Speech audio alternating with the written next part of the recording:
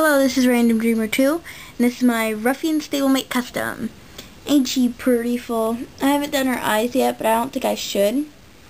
She, there, she's got her little sock, she's pitch black, and she's got this gorgeous star. I actually did it perfect. Of course, like, this camera is very low quality, so it's not getting in the zoom perfect, but, like, it's gorgeous. The other side's really nice, too, but I don't really want to get it, because then I'd have to, like, turn around and I'm on like this huge table, aka my current studio, in the garage with my paints.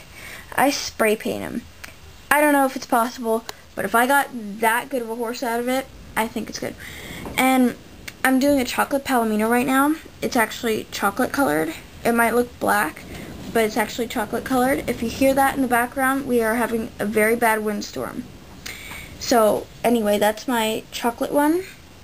And this is the thing I'm going to use. It's almost like a caramel. It's a little lighter than caramel. And that's what I'm going to use for the mane.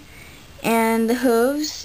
And it's going to have a stocking on this one. And the front left and the back right. So it's going to look great. Almost as good as Ruffian, but Ruffian's amazing. So yeah, this is Random Dream 2. Bye.